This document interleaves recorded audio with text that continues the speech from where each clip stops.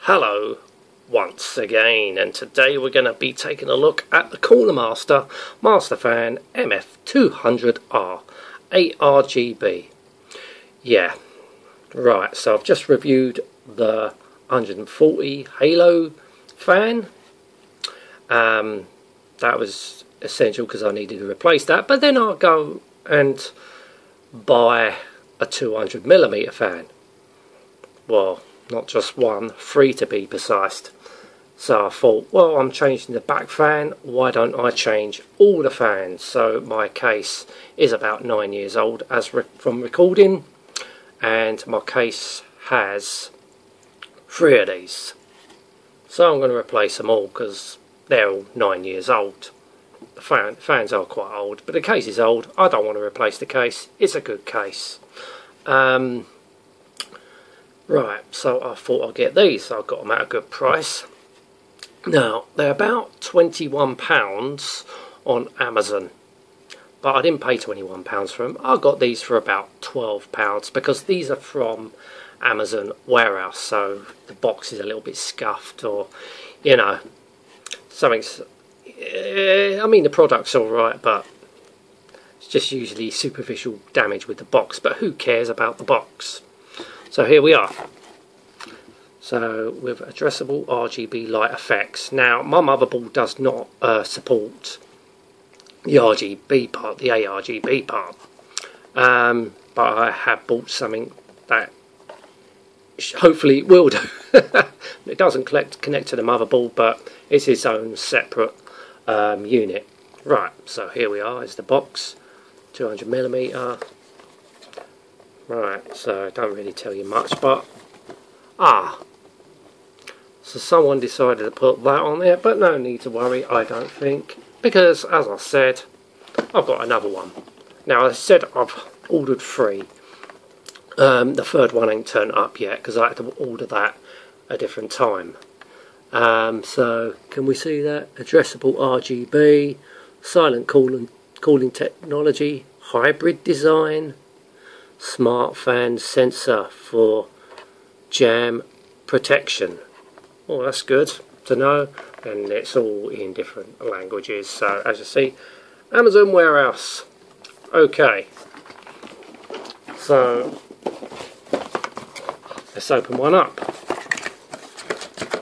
Take it out of the box.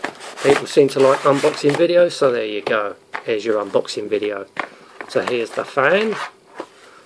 Um, feels quite quality fan actually. Well, hopefully for that price, yeah, wants to be. So I'll be happy to pay, you know, a good price if it's going to last. But obviously, this can work without the RGB. You don't need to have the RGB on because um, all you have to do is. Oh, this is a three pin. Oh, this is three pin. Um, goes into your motherboard, not four pin like the other one. Okay. I mean that goes in.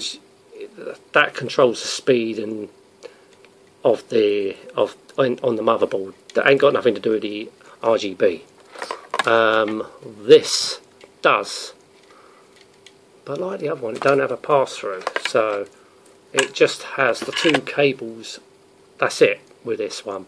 Just the two cables. So that um, goes into your RGB module or motherboard or if you want to connect it to a um, a hub like a RG, a RGB hub. Um, so there's the fan. I will be giving this a demonstration. Right so you get additional screws and bits and pieces. So here we have four big screws. Um, so that obviously going to go on top of the case um, if you're wondering what case I've got, it's a Cooler Master HAF X. Right, so they two of them, two big fans will go on top and one fan will go on the side. Now I can't do nothing about the front fan, that is a completely different fan. Uh, tailor-made for that case, so I can't do nothing about that, I can't replace it. So here, you get, so you get, I don't know what, perhaps Right, you get four case fans, which I am going to use. Um, Now, I'm not experienced with RGB, ARGB fans or nothing like that. So, is that just to connect two fans together? Um, I don't know. I know what that is. If you're connecting two fans together, this just it's a clip what holds the two connections into place. So that's for your ARGB if you're connecting two or more together. But only you can connect two together, I think, with these fans, unless you're putting it in a uh, hub. So this is the Cooler Master Master Fan MF200R ARGB. Let's see how this goes. Oh, I think there's something wrong with the motherboard. Um, that's two fans now that is really struggling. So I reckon it's the motherboards that's not powerful enough to spin these fans. I don't get it. Surely that can't be a fault with a fan. um, so yeah, once again, it it, it's all nice. Uh, stopped completely. Alright, and there's this, unless it's the power supply, ain't, ain't um, powerful enough. I don't know. That's very weird. But it's certainly nice and colourful. The LEDs are really nice. Look at that, that does look good. So I can't wait to get these inside my PC because that looks rather good. Spin. Uh, it's just this. It's either the motherboard header or the power supply unit ain't giving it enough power to spin these fans. Surely I'll have to. I'll, I will let you know once I put it in my main case, and you know it could be the motherboard, but definitely looks nice. So, well, that looks good. So I would highly recommend them. Yeah, so the hub's doing its job. The um, the controller's doing its job, and all the fans are spinning, including that one. I'm going to leave that little one out. Right, so this is the, um, the fans installed in the computer case that I'm currently using. So this is more of a video of the 200 um, Cooler Master fans. Right, now this hasn't really gone according to plan, but it does have a happy ending, if you know what I mean. Um, right, as you can notice, there's only one top fan. Now there's a reason for this because these 200mm fans are not really made for this case. Um, they are slightly different from the stock cases, stock um, fans for this case. Now this one, the front one fits in no problem but the rear one is using um, a stock fan because usually in the back here in in in the on the case there's a couple of um, points that there and there which goes through a gap in the fan of the stock fan.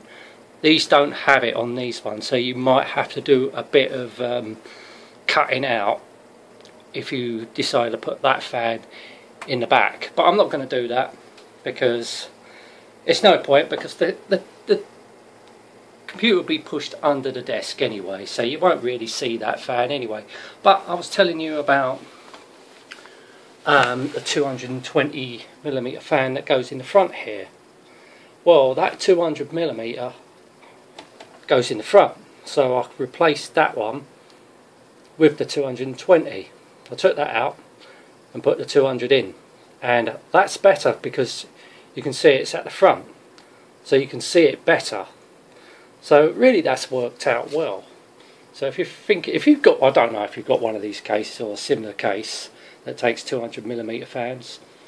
Um, yeah, if you've got one of these, at the HFX, just remember, if you're thinking about it, it won't go in the back unless you do modifications. But I say, it's no point for me. Let's look at the side one. So here's the side one. So that went in no problem. No problem whatsoever. So so really it has worked out better. So really nice and bright, really nice and um, colourful. Um, so yeah, I'm happy with the out outcome of their 200 millimeter fans. So yeah, it's worked out pretty well. Anyway, thank you so much for watching. Till next time, and goodbye.